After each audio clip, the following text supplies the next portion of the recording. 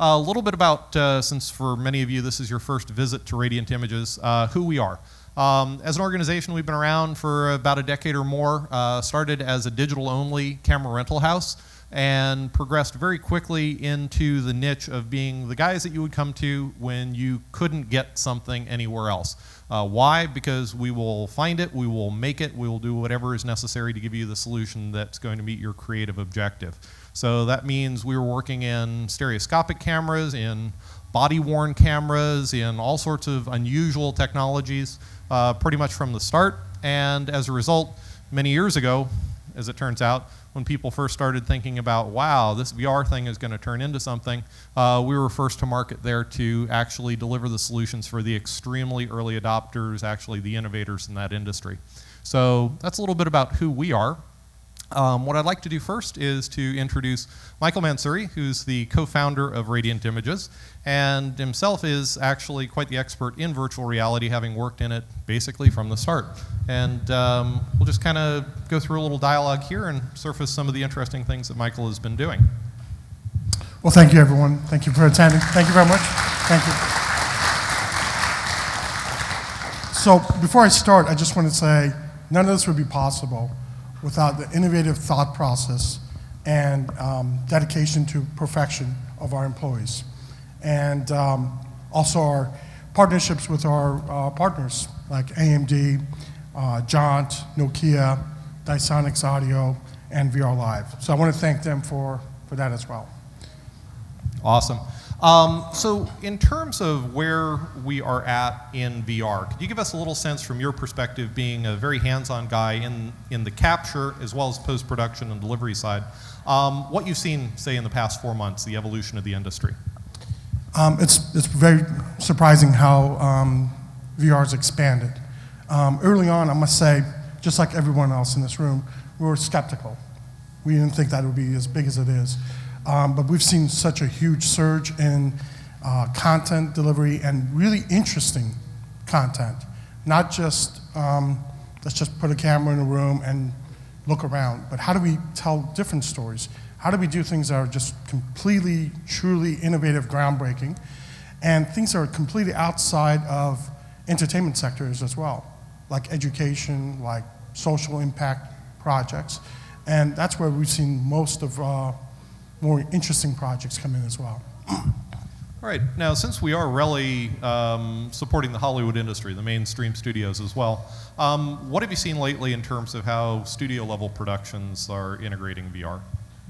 Well, I guess best case would be um, Suicide Squad. So Suicide Squad came to us almost a year ago. She came to Sinclair, and um, they had a very challenging production, which is tell a story from my perspective allow our viewers to become those characters.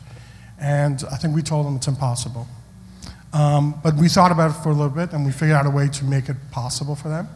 And I think what was interesting is how they're using virtual reality to help them promote their movies or tell additional stories inside those stories.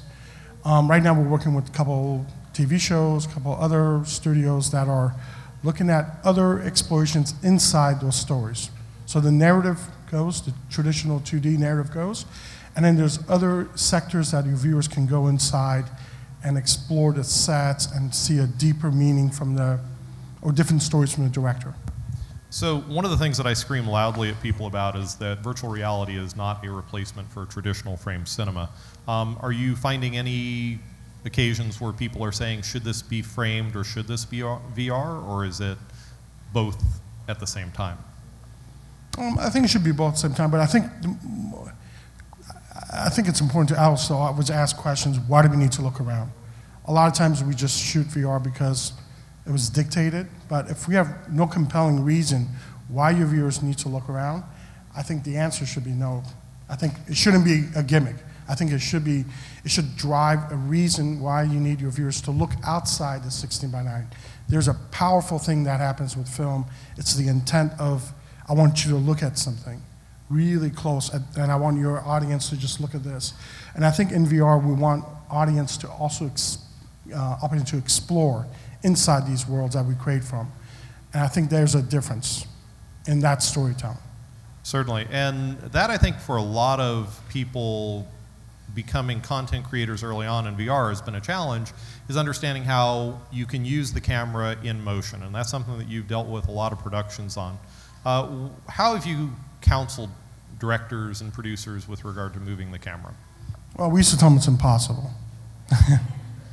um, but we had a project with Brain Farm, and I don't know if you guys have ever heard of Brain Farm, but they don't do anything that's traditional.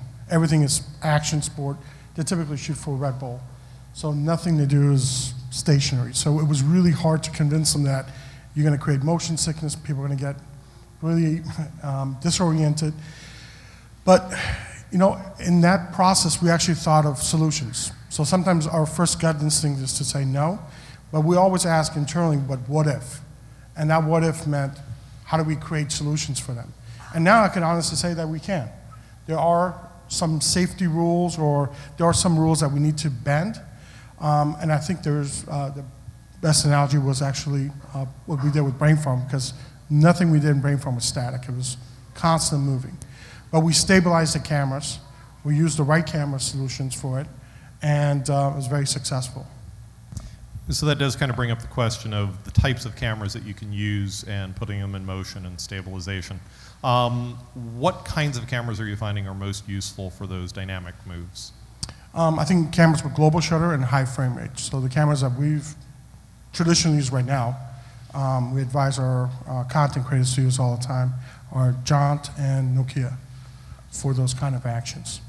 Excellent. That's something we'll be talking about a lot more is uh, both where Nokia is at as kind of the, the senior camera within this industry as well as the uh, Jaunt camera, which is the uh, newer player in town, at least from the accessibility standpoint. Um, so the reliability of the camera systems, how has that been in, say, the, Hmm. the past four to six months? I think that's where the biggest revolution's happening for content creators is the reliability and purpose-built cameras. In the past, we've, we've had to create our own camera solutions, which is typically based on strapping on a bunch of GoPros together. They overheat. They're not meant for this kind of rough, um, dependable production shoots. Um, we found, especially with uh, production companies like Camp 4 and uh, Brain Farm, they're taking their viewers into isolated parts of the world that even 2D cameras have a hard time keeping up. And with Camp 4, we had it in Mount um, Emelis, and we had it at, in, in Nepal and Alaska, where it got snowed in for like two weeks. We couldn't even get a helicopter to search them out. um, but the cameras came back with beautiful images. Awesome. Um, so one other point that uh, we should probably touch on is we are at the point within virtual reality where we have post-produced content which is accessible on demand, but we're also seeing a lot more activity and demand from the clients for doing live events. Um, can you tell us a little bit about the types of live events that you've been covering? So I think one, one thing that could be very exciting for content creators is also be, having the ability to live capture and live stream your content. Um, you don't have to take your content now and go to a lengthy post-production process. We can, for some of your content, capture live and stream it directly to any mobile device. And um, best uh, case was what we did for Indy 500, which we just finished. We actually did a live stream, live capture, and we allowed users, the viewers, to choose different areas they want to be engaged in. So it's no longer being somewhat directed for them. We're creating the world for them, allowing them to explore in those worlds. So they could be on pit crew, they could be on flagpole, they could be right on the grandstand.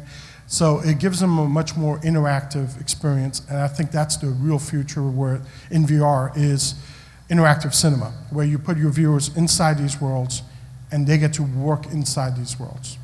I think that's one of the most groundbreaking things we've done in live capture.